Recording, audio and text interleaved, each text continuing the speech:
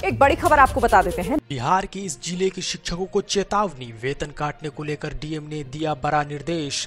बड़ी अपडेट निकलकर सामने आ रही है दोस्तों, वेतन वेतन पर डीएम ने जारी किया नया आदेश। डीएम ने सप्ताह में दो बार विलंब से हाजिरी दर्ज जवान, दर्ज करने वाले या पहले से निकलने वाले शिक्षकों की पहचान कर उनके खिलाफ कार्रवाई करने को कहा गया है।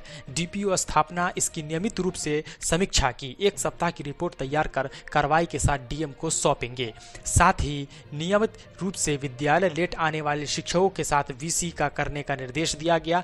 विद्यालय निरीक्षण की ज़िम्मेदारी वाले कर्मी या अधिकारी भी शिक्षक उपस्थिति को ठीक करने के लिए लगातार निरीक्षण करेंगे। विद्यालय से बाहर के भिक्षुक समुदाय के बच्चों की खोज करने वाले और पलायन कर गए बच्चों की सूची प्रखंड शिक्षा पदाधिकारी को 24 घंटे के अंदर उपलब्ध कराने को कहा गया है।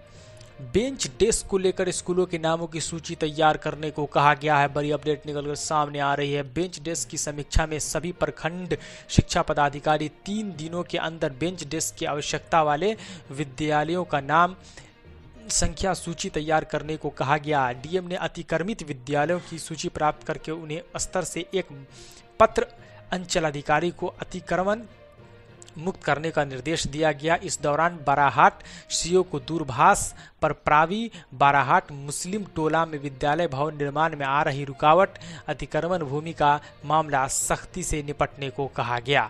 उन्नयन की समीक्षा के दौरान संभाग प्रभारी को जिला स्तर से वीडियो एवं ई कंटेंट तैयार करने के लिए बने स्टूडियो के विधिवत उद्घाटन बल दिवस पर कराने का निर्देश दिया गया। सभी निजी विद्यालयों को अप्रस्वीकृत आवेदन पर कार्रवाई करते हुए यथाशीघ्र प्रस्तावित प्रदान करने को कहा गया। मध्यान्ह भोजन योजना की समीक्षा में भोजन में हो रही गड़बड़ी की जाँच के लिए धावा दल गठित करने का निर्देश डीईओ को दिया गया। बैठक में DEO Kundan Kumar, DPO Deepak Kumar, PO Sanjay Prasad Yadav गुणवत्ता शिक्षा प्रभारी मनोहर सिंह के अलावा सभी बीडीओ अभियंता प्रमुख रूप से उपस्थित थे। दोस्तों, ये जानकारी अगर आपको अच्छी लगी हो तो शिक्षित बिहार चैनल को सब्सक्राइब करें, वीडियो को लाइक, शेयर करें। मिलते हैं दोस्तों अगले वीडियो में, तब तक के लिए धन्यवाद।